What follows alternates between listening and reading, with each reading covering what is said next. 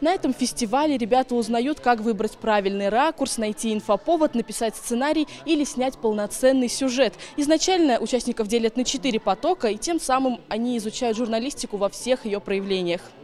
СММ-продвижение, блогинг, основы телерепортажа и секреты правильного интервью. Школьники как губки впитывают в себя новые термины, лайфхаки и мудрые советы. То есть они сидели, рассказывали свои случаи, ситуации, и говорили, то есть как что-то правильно делать. Э, но в основном было как общение, то есть на такой прям волне все прокатилось, было очень интересно. Собрались, вероятно, те дети, которые хотят поступить на журналистику. Мне это интересно, чтобы нашу газету, наверное, продвигать, как-то улучшать. Основное задание участникам фестиваля – создание видеоролика. Каждому нужно было снять небольшой сюжет, который раскрывает проблемы нашего региона.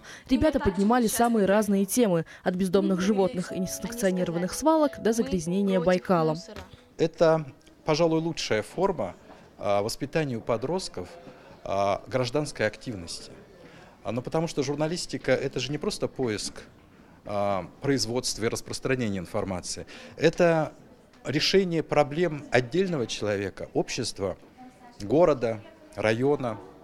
И именно этот критерий являлся основным при оценке конкурсных работ школьников.